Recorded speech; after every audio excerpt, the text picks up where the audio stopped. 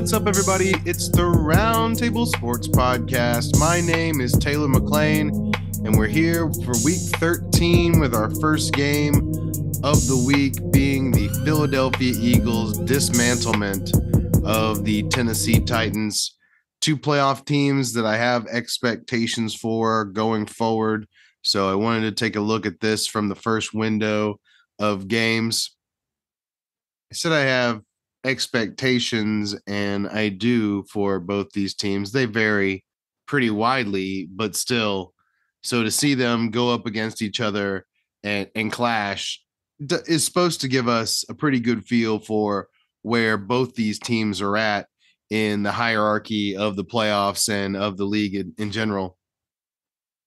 So to see Philadelphia dominate the way it did in the trenches was pretty impressive it seemed pretty clear early on that while the Eagles were going to try and poke a little bit at the run, that they were going to try and work the outsides of the defense first, and they were going to try and win with AJ Brown and DeVonta Smith on the outside, which in retrospect and just saying it out loud, period, without the retrospect, sounds like the way that you would want to attack the Tennessee Titans if you have the ability the Titans have been pretty good at getting a rush on their opponents with just their front four and, and with bringing some blitzes, but really just playing solid defense overall. So to see the Philadelphia Eagles switch stance, so to speak. So if they were a right handed UFC fighter, then they would have switched stances here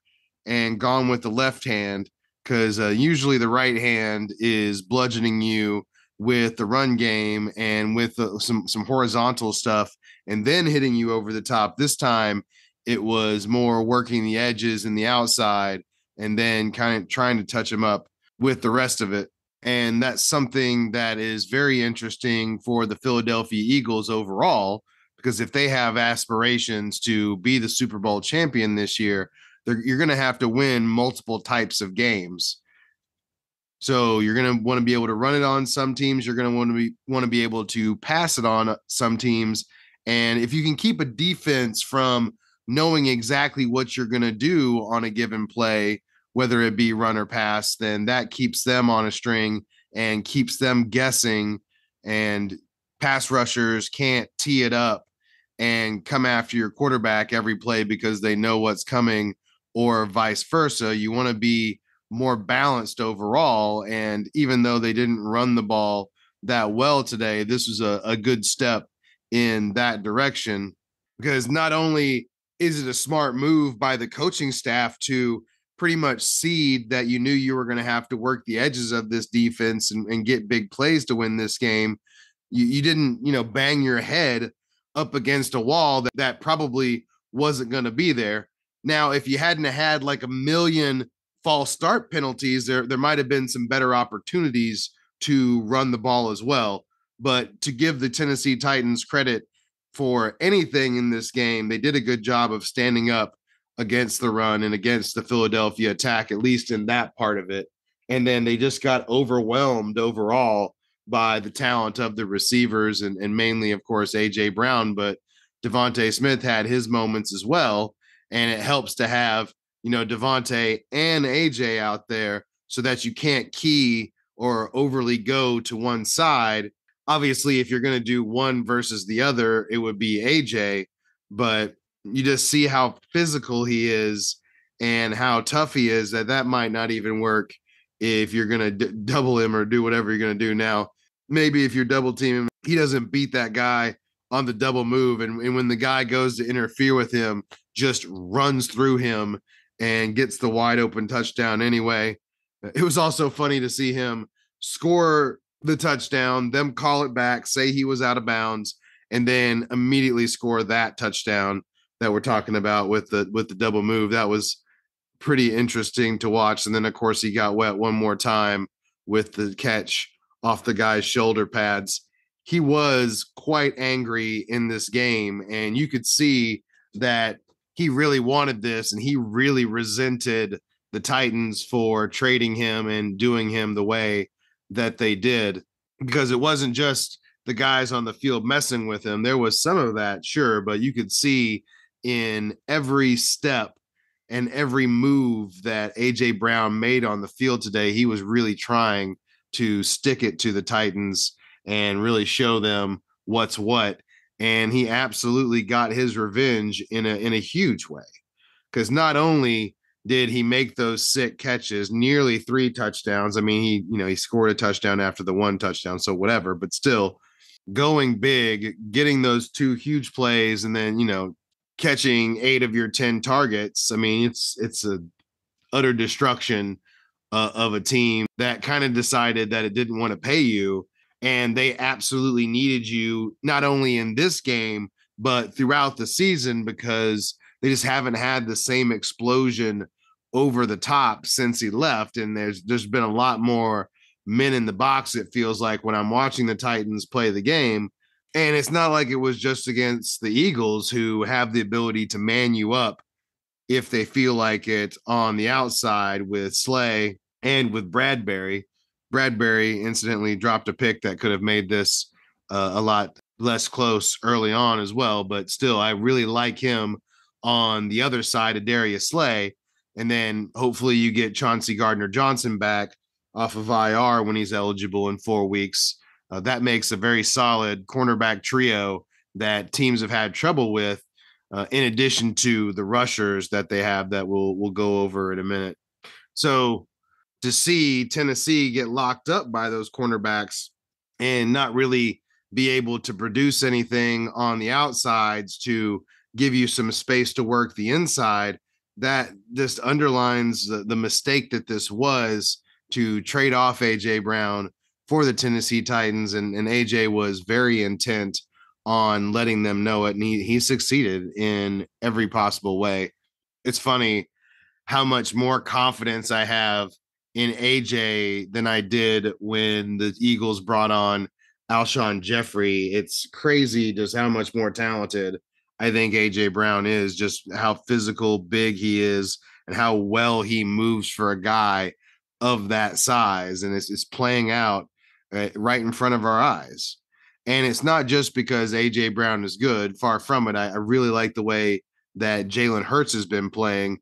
And I think he's made strides as a passer as well that we're seeing play out on the field. But still, much like you know, Tua Tagovailoa or Josh Allen a couple years ago when he got Stefon Diggs surrounding your young quarterback with high talent guys that yes may be expensive but still have that talent to be able to take them to the next level and show them what it's what it should be like to play with the receiver like that then it, it mean makes all the world of difference to a developing quarterback and i think we've seen that with jalen hurts as well because while i love DeVonta Smith for sure uh, he doesn't profile as the same type of alpha number one receiver that AJ Brown does, just simply because of his size. Like he's just not physical enough with his size to be able to fight through every cornerback. Like he's going to have trouble with the bigger guys, like Jalen Ramsey. He's going to have trouble with Jalen Ramsey if Jalen Ramsey is on him. Good news is he doesn't have to be that guy. He can. AJ is going to draw that coverage, or AJ is going to draw the number one guy typically, and DeVonta can be on the other side. But to my point, Jalen didn't have AJ last year. He's working with guys, and and DeVonta was hurt throughout the year as well. So when you're working with guys that are not quite number one and number two guys, and are probably better to suited to be like a number three, like Quez is, who Quez is a great number three, right? And Pascal, it's a pretty good number four, right? But having them as your one and two, they're they're missuited in the role, and it really takes a lot of the value out of that player. And then you're asking Jalen to be able to produce wins in that environment. And now you put set him up in a situation where everybody's in their role. Quez has actually stepped up since Dallas Goedert has gone out a little bit too. So that's been nice. I think they still miss Goddard up the seams a bit. And I, I like the way that they kind of block him and then filter him out into space and get him the ball kind of horizontally as well and allow him to run with the ball with his physicality. So I think that'll be a big addition. Getting Chauncey Gardner back, getting Ndamukong Suh and Linval Joseph a, a, little bit more time to get themselves all the way up to speed, even though they look fine. And then getting Robert Quinn in there as well to bolster the pass rush. So there's a, there's a lot of things that can happen for this team. And the way that the re- reports read is that Goedert is supposed to be back within the regular season. Uh, so hopefully have a little time to get himself, you know, rust knocked off before the playoffs if the Eagles are going to make their deepest run.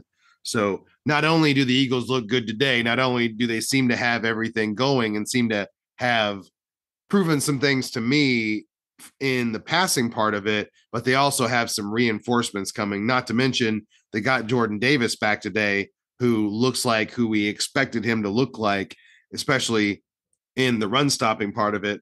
Right. So getting him off the snide, and uh, I think he left the game at a certain point. So you you want to have him healthy for the the main part of your schedule. And granted, you you, you want to make sure you get that number one seed for sure, but also I think it's especially important for the Eagles to have all of their horses for game time because if they do, they are going to be quite formidable and really cause problems for teams because as we saw today, they don't have to run the ball the same way they did last year, right? Last year, had they run for this type of running performance, this game would have been a disaster, right? I mean, there's no way that the Eagles could have pulled this same type of game plan off with uh, the personnel they had last year. But now you got AJ, got DeVonta, and then and Quez and Pascal and the and the rest are in their appropriate roles. Now it all makes sense. Now Jalen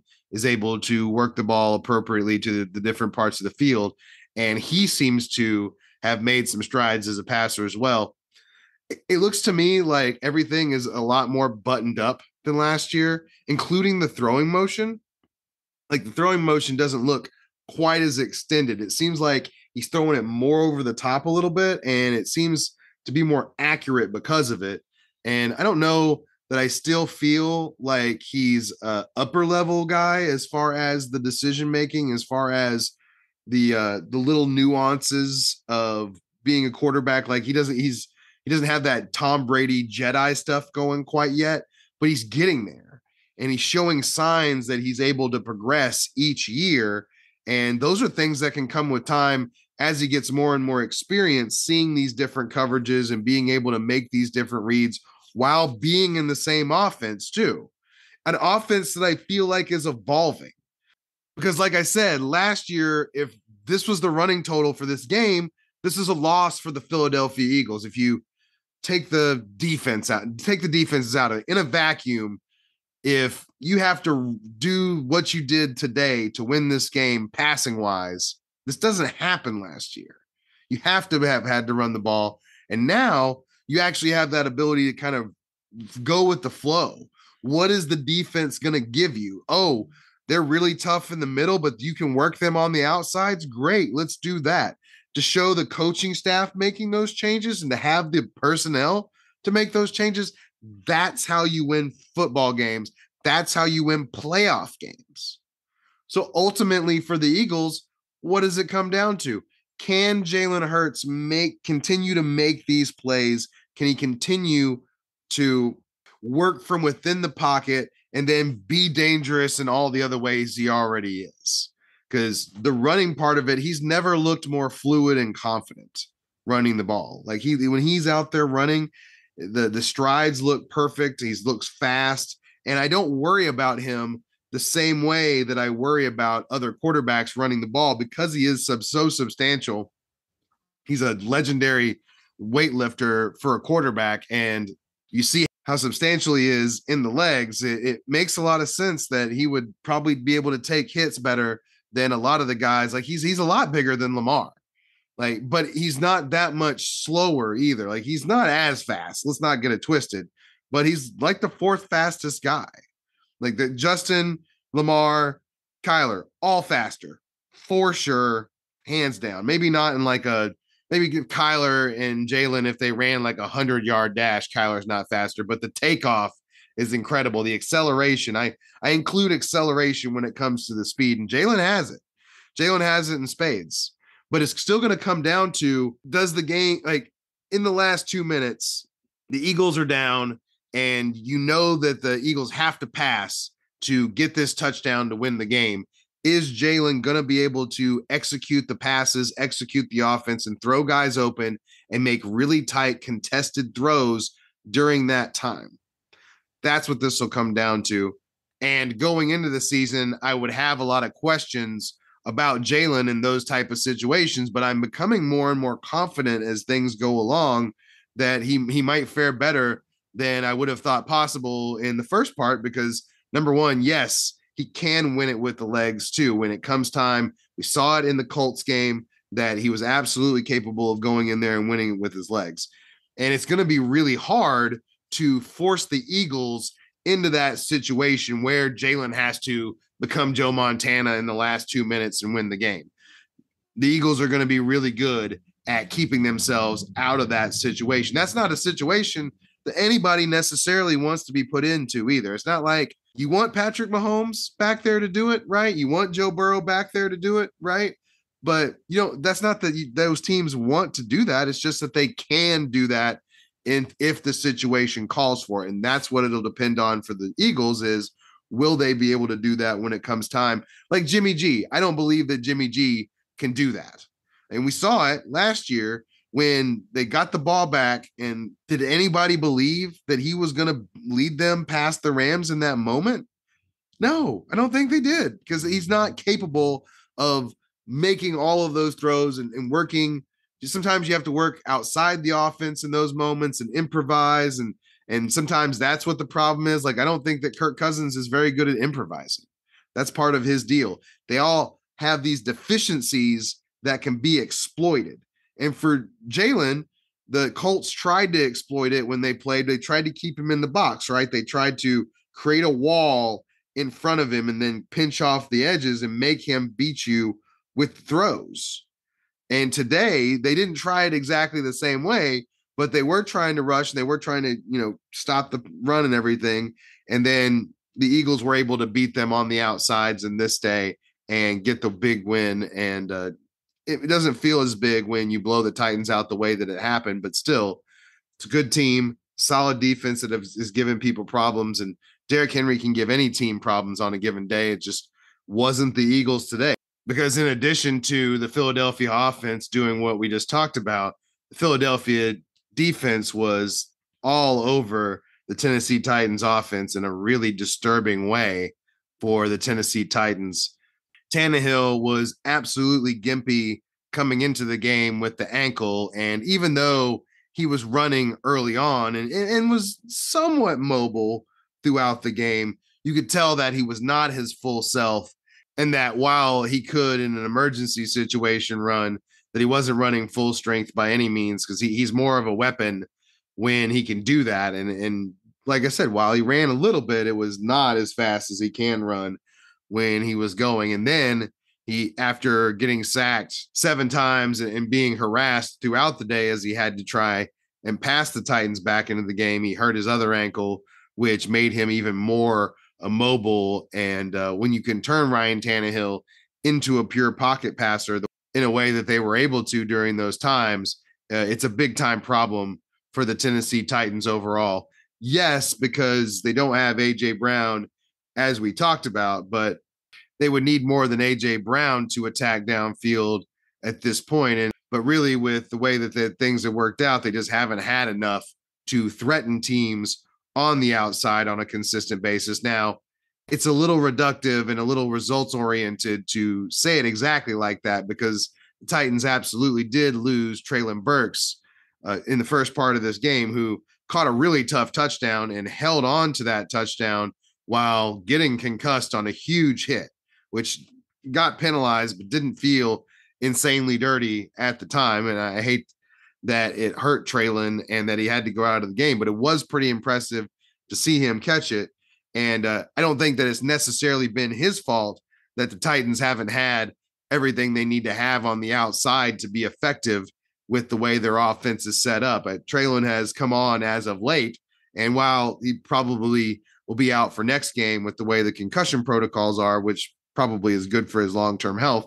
It's certainly going to leave the Titans at, a deficit because he has been adding explosion and has been able to get downfield and make big plays for this offense, just not as consistently as what they would have had in with AJ or with someone that wasn't a rookie that is expected to be worked into a run first offense. He, he but but to my point, he has been making those plays, but he's just not far enough along as an overall receiver to be what the Titans would need him to be and the threat they would need him to be to make this work at this time.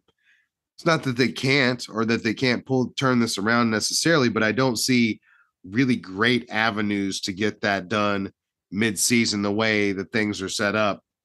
The offensive line just isn't quite as dominant as it used to be. There's Ben Jones being mixed nicked up, Lewan has been hurt. So I mean, it's just been a whole thing where there's been a lot of turnover there. And then when you're not able to dominate the line of scrimmage, especially in a game like today where the Eagles have solid outside coverage as well, then you're it's leading to a lot of Tannehill having to hold the ball a bit. And then while the Eagles were selling out to stop the run, that they were doing it via penetration and getting up field. And that meant that they could rush the passer too. And rush the passer they did. And it's interesting on the Eagles' part because it's not just the edges of the defense. I, I like Josh Sweat a lot. And Brandon Graham has been a mainstay for a long time. And then you throw Haason Reddick on top of that. And that's three pretty good pass rushers. Maybe none of them are absolutely dominant, right? But Brandon Graham has had his time as one of those guys, but he might be just a little bit past it, maybe.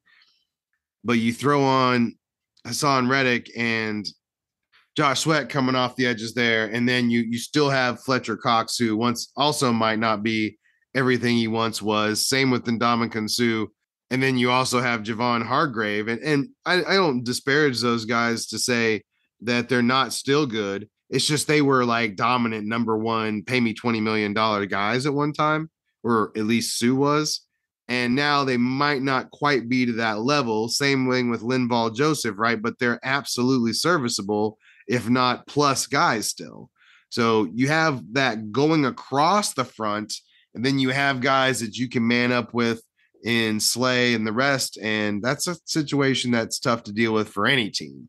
So to see the Titans not get off against the Eagles, okay, you might be not getting off against one of the three best teams in the NFL, but it's still that's no excuse. This is a problem for everybody because that's that's a front that is going to give you problems across the board. And if you have one guy, if you have a, what you would call a Waldo a, a bad lineman that other teams are looking for, they can just pretty much line up the way they would line up anyway and attack you.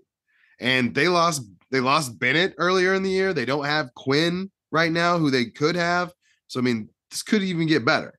So I'm not gonna be all too all over the Titans when they were just simply overmatched on the offensive side of the ball going up against this defense all throughout the day that had a really good game plan. I mean, they they they played him right, getting penetration up the front, making sure that they stopped King Henry first while still being able to cover them on the outsides. I mean, it was it was pretty impressive. And when you can force Tannehill into these situations where he has to uplift this offense with his passing, that's a problem overall. And ultimately, that's a problem that the Titans are going to have to address with where they're going to go, you know, with their team. They got some reps from Malik Willis later on after the Eagles brought in Gardner Minshew, but he's still pretty law, raw as a passer. And I don't think that you can expect him to step into this situation and get the job done at this time because of that. I mean, if you don't have the horses. I expected a lot more from Robert Woods. Westbrook Ikhine is limited and is fine, but he's more of a three, right? He's more mis he's miscast where he's at. And then Treylon is not well enough developed in all the different parts of the game to step into AJ and to get make everybody have their appropriate roles. And it just throws everything out of whack. And it's surprising because I had some expectations for Robert Woods to step in and do something for this team. And he just hasn't gotten the job done. It's uh the road the Rotoworld uh, said this was the reverse of a statement game, and uh, it felt very very appropriate. And honestly, I mean, you could say this about pretty much the entire offense at this point. Like that was a reverse statement game for the entirety of the Titans offense. The defense, I mean, they gave up 35 points, but I mean, they played better. They played better than the offense did. I'll tell you that if you're rating things overall, they just simply couldn't be everywhere at once and they just couldn't hold them to 10 points. I mean, that just wasn't going to happen today. So you got to score more points. You got to put up better play from your quarterback position overall. And I know he had bum ankles today, but he's not the answer. He is not an uplifter of teams. He needs to be dropped into a team that already has. Like he you need to drop him into the San Francisco 49ers. Something like that. Like I think he might be better than Jimmy G. That would be interesting, but they're not going to do that. I feel like this has run its course with Tennessee. They're probably locked in for next year with the quarterback money, I would think, but I don't know. I, am you're seven and five, but your your ceiling's limited. And you took a swing with Malik and you got good value, I think, but I don't know. He seems pretty uh, raw overall with the passing part of it. He's still got a long way to go with that. And your team's pretty good overall. Like, are you tearing it down?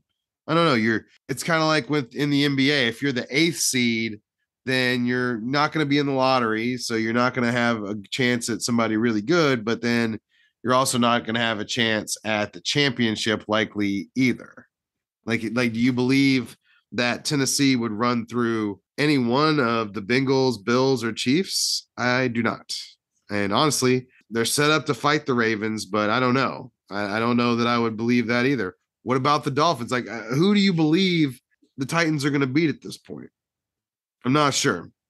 And if I'm them, I'm trying to get myself out of that middle, but it's hard because you either have to be really bad to get down there for the quarterbacks or you're right here where you are and you're not ever going to advance beyond this one point.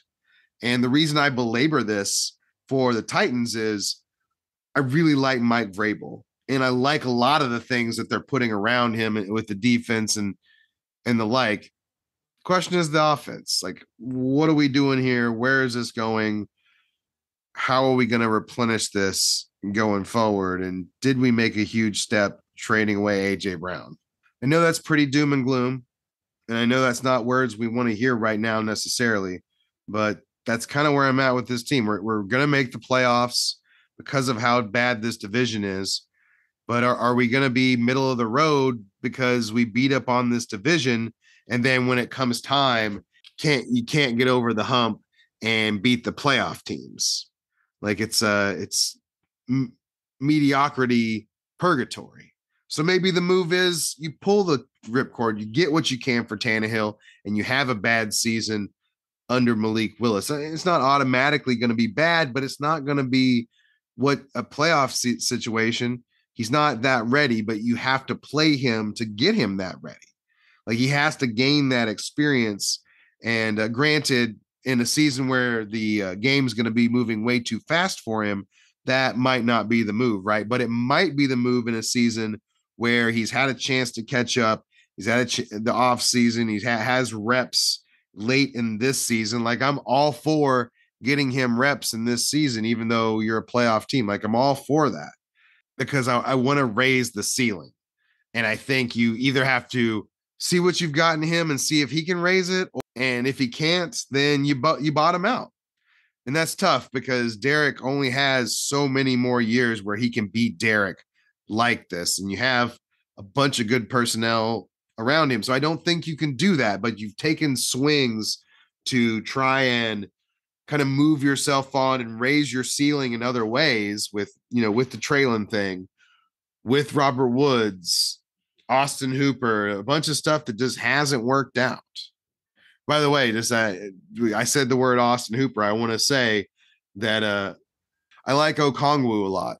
So that's something they need to continue to work in there over Austin Hooper. Maybe maybe it's both because you run so much and you run heavy sets, but I think you have to get him some more snaps and some more action because he has some pop there. And It's weird because this team is in the playoffs, but I think they've got a lot to figure out and they need to they need direction on offense. And honestly, I'm not that enthused by the scheme either. I don't find myself to be inspired by any part of it. So that leaves me shrugging my shoulders, wondering what we're going to do here and, and what are we doing here. Should be interesting. Still got a lot of football left for both these teams. And like I said, Tennessee is going to make the playoffs likely, regardless of what happens here with the way that this division is going. Well, that's what I've got for this game. If you've gotten to this point and haven't done so, download the podcast. Let me know that you're here and listening. If you're on YouTube, like, subscribe. I'm going to be doing more games this week, and uh, I got to this one on uh, Sunday. Uh, I actually am going to watch the Cowboy game on delay, uh, so I could get this off to you for Monday morning. So hopefully, it's appreciated and informative. I'll be doing more games this week as I'm, I'm going to watch them all. I just uh, how many can I podcast and get to? We're hoping for five to six. That's the goal. But I appreciate your time today and uh, have a great rest of your day.